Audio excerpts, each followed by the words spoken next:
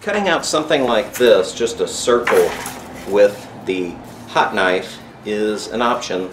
I have irregular edges on this. I think you can see that there.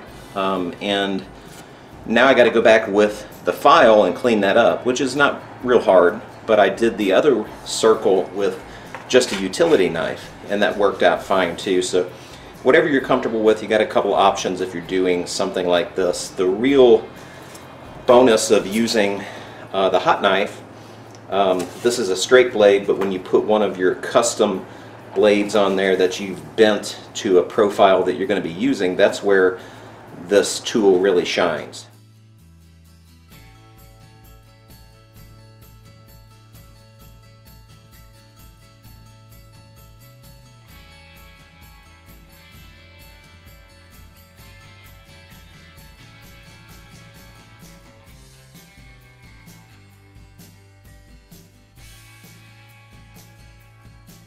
In the spots where the hot knife stayed a little bit too long, there can be some of these areas where the foam melts and then it cools and it becomes really hard. So it's hard to get in there with sandpaper. So I like to get that out with the file.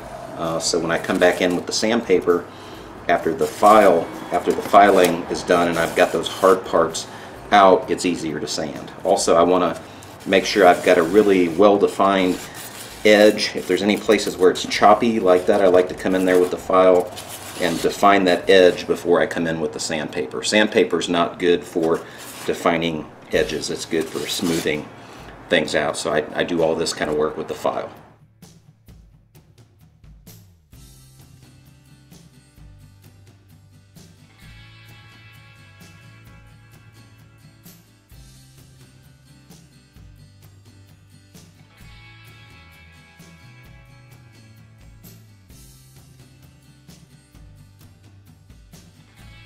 So I've got this sanded pretty well and now I'm going in with my mixture of three parts joint compound to one part light brown paint and I'm just using my finger. You can use a brush for this.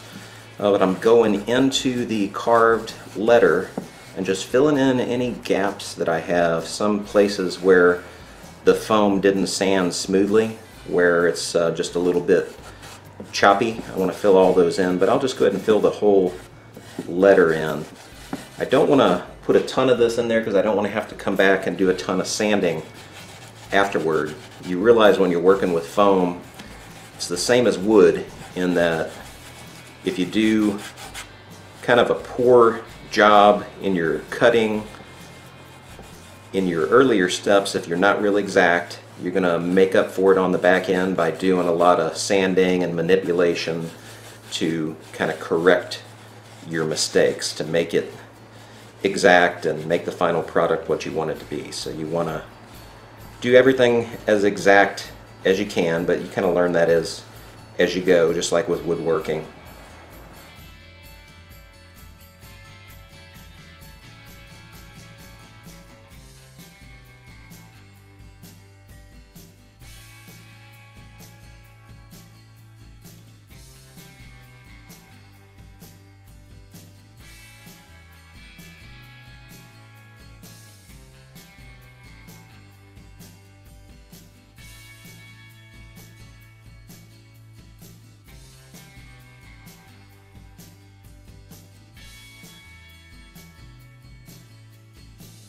Here's another good practice. Have some extra foam pieces here so you're not laying these 10 pound weights down on your foam. I'll go ahead and glue up the back of this foam.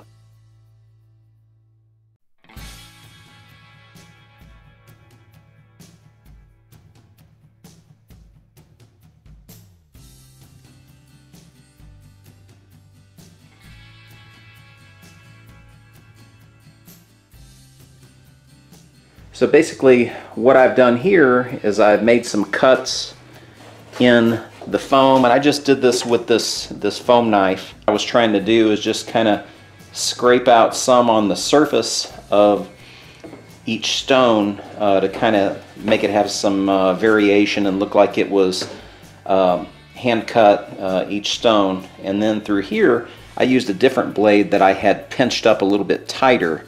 Uh, so it was a little bit tighter of a loop than this.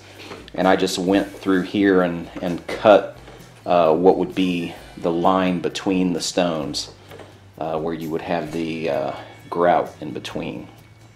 I put a little bit of dark down here into some of these uh, recesses and places that I cut out, but I think it's maybe a little bit too much of a contrast. Uh, so I'm not sure that I really love the way that's turned out. Uh, let me show you what I've done. I'm just kind of experimenting right now.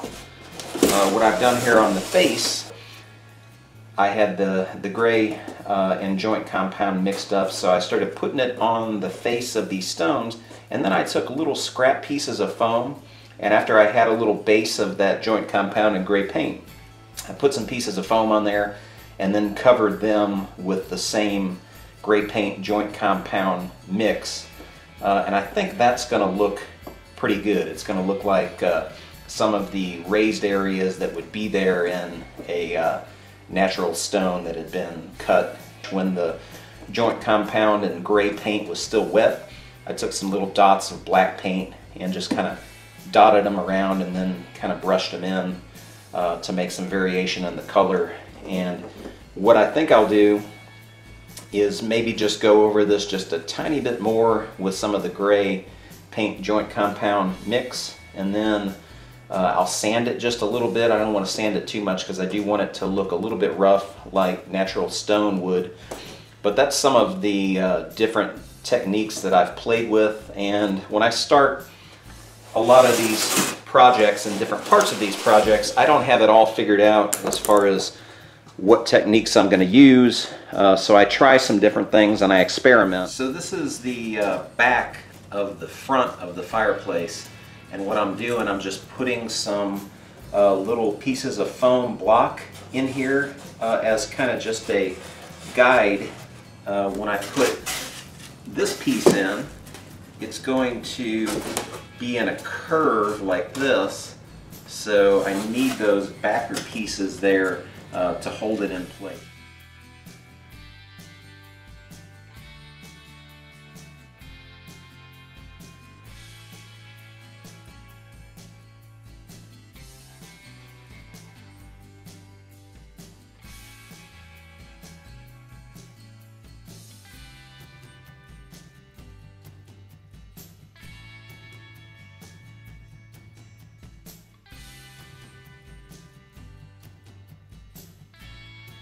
Want to put the painter's tape on to hold the panels together and hold them in place to make sure the edges are lined up and they're tight together when the hot glue is drying. If you wait until after you put the hot glue on and join the pieces to start peeling off the pieces of tape off the roll, you're going to be a little bit too late. And I like to already have them stuck to one of the foam pieces so after I get the hot glue in there I can just pull the pieces together and smooth the tape over the other foam, the other adjoining foam piece.